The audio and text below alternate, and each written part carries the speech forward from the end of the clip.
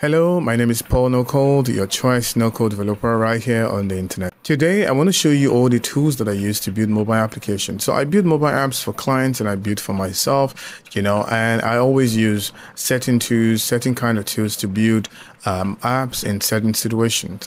And so that's what I want to show you, when to use these tools, what kind of tools you use, and how to go about picking the right tool for the right job when you're launching your next mobile application.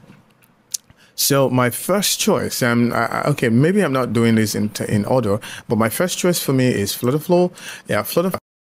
My first choice because I have come to love Flutterflow personally because the team is very innovative. Yeah, very, very innovative team. Uh, I've spoken to them personally and I've used this tool for a couple of projects and it's been very, very good. You know, week after week, month after month, this team, they're always innovating. Uh, before Flutterflow, I would usually use Adalo for my uh, no-code development, but ever since I'd found Flutterflow, Flutterflow has been my go-to tool because it enables me to build very, very clean interface. I must confess, Flutterflow is one tool that you can be very sure that if you know how to build um, if you know how to build mobile mobile UI and you're experienced in building mobile UI, you're very sure that you'll be able to build very clean interface.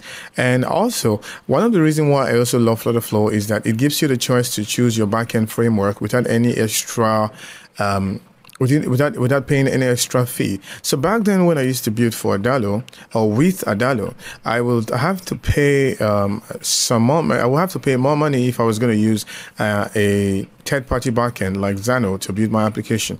But with Flutterflow, I could use Xano, I could use Supabase, I could use um, uh, Firebase, I can use any other tool. I can use Buildship, I can use any other tool to launch my my app i could you know i could build any i could use any tool to to build my app's backend while i allow flutterflow to handle the front end of my website. In fact with flutterflow you can actually host all your data somewhere. It could be in a google spreadsheet it could be in airtable as long as you can call this data with your api you can actually build your own mobile applications with flutterflow. And another reason why i love flutterflow is the fact that you can build for multiple multiple um, uh, infrastructure at the same time. You can build for mobile mobile, you can build a PWA, you can be build for for desktop, you can build for Windows, you know, you can build for iOS, you can build, you know, you can build everything just with one tool. Like for example, if I'm building an app, maybe I'm building it a, a, um, a to-do list application. I can build that same to-do list for Windows. I can build that same to-do list for iOS. I can build that same to-do list for um, Windows Mobile, um, for uh, Android. I could build that same to-do list for iOS Mobile. I can build that same to-do list as a PWA. So I can build it on Linux. I can build it anywhere. So it means I can build once on one platform and I can launch it anywhere I want to launch it. And also, if you check out their documentation, documentation is really robust and really, really great. So they do they, they barely miss anything when you're checking out their documentation. As a person who's just getting started, you can check out their documentation and you can make sense of it and you can implement those stuff on their documentation and you can you know, oh, you know, off you go. You can build whatever you intend to build. So that's number one on my list. Number two on my list is Glide.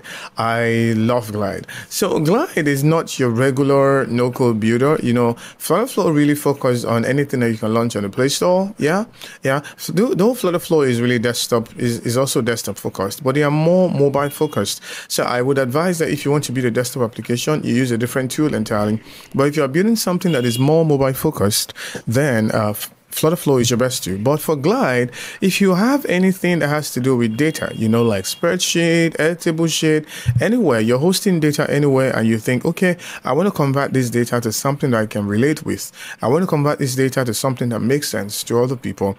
Then Glide is your go-to application. See, Glide enables you to build internal software. So if you're building something internal for your team, you're trying to manage your in-house software, I would say Glide is the best tool for you to use.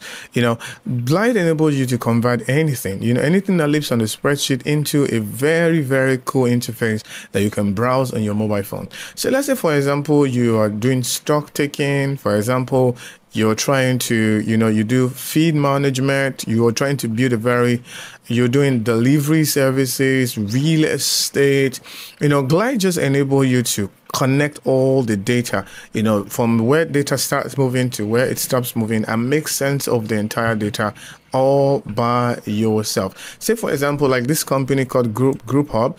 Group Hub uh, um, uses Glide to manage their drivers you know it enables you to enables them to manage your drivers so you can actually pinpoint all of those things but you know but if you're thinking of building an app that has that that that's going to be used by so many persons glide might not be your go-to tool because it's going to get more expensive so you can see some of the things that glide can build feed management app event management customer portal employee portal inventory portal. So you see all these things that has to do with portal, right? That's what you have to do with Glide. So if you check out the pricing, right?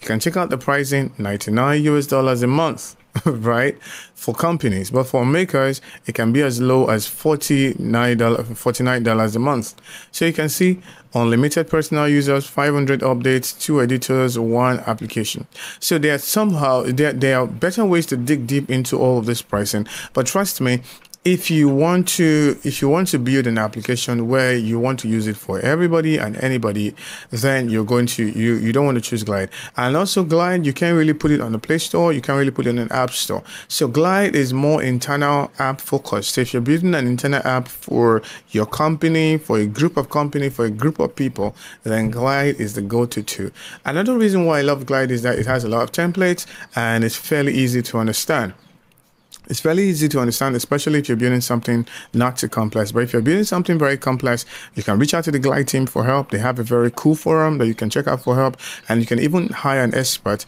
to build it for you right? So that's number two. Number three on my list is Bubble. So who would mention um, mo- mobile mobile app application without Bubble? So Bubble is actually is the opposite of Glide. Glide Glide is mobile focused. Bubble is actually web focused. So I would normally use Bubble to build a SaaS application, you know, application that will live on the web. But Bubble is also a cool tool for building mobile application thing is that you just need to use a wrapper. So there's something called a mobile wrapper. The wrapper just enables you to put it on the iOS store or on the on the uh, um, Android store so that you so that people will be able to download it to their you know to their phone. But you would basically be doing the same thing just like the app will be doing on the web. So you would use a wrapper and build a single page application, right? So when I mean a single page application, all the pages is going to be on one single page, and you're going to be showing and hiding based on activity on the application. So Bubble Bubble is super cool because I think that their pricing is good. It's affordable. They have very affordable pricing. They are cool if you're just getting started, and Bubble can take unlimited amount of users, you know, thousands and thousands of users without breaking. That's one of the reasons why I love, love Bubble. I also love Bubble because you can extend this functionality. Bubble have these things called plugins, plugins that you can use to extend the Bubble functionality as much as you can. And also you can use third-party database for Bubble right? You do, Bubble is non-restricting. You don't have to restrict yourself with uh, the the database that comes with Bubble. You can use third-party database with your Bubble application, and you can extend it as much as you can right? So I'm going to go back to Glide for a few minutes. So another thing that I love about Glide, so this is me going back to Glide, is that you can use, you can, you can call your data from almost anywhere. So you see, it allows data from Google, Google, Google Sheet, Airtable, um, uh, Microsoft Shade, MongoDB, you know, any um, um, most any database, any popular database that, that exists on the internet, Glide allows you to connect to it so that you can represent that data a whole lot better. So number four on my list is Thunkable. So if you think that you just want to do something and do it straightforward, right? Thunkable is the is the thing for you. You don't want to think about, oh God, how am I going to learn this thing? You don't want to think about how am I going to get things going. Thunkable is the thing for you. So Thunkable comes with pre-built component, right? That you can just you can put all over your application and then you can use it. Thunkable will allow you to synchronize your app with Google Sheet, with Airtable, with Figma, you know, a lot and lot of other tools. So the thing I love about Thunkable is that it reduces the time to launch right? Time to launch for Thunkable is very reduced because it comes with a lot of pre-built components that you can actually use. And also, Bob Thunkable, just like it says here, Thunkable allows you to, you know, connect with um, hardwares like for Bluetooth, web connectivity, third-party hardwares that you can use on your application. But really, it's something that you really can check out. It's something that you want to check out. I've known Thunkable for a while, but I haven't used this, used it a whole lot. So I think it's something that you can try especially if you're just starting out because they have pre-built components that you can use on your application. So that's Thunkable. And last on my list is BuildShip.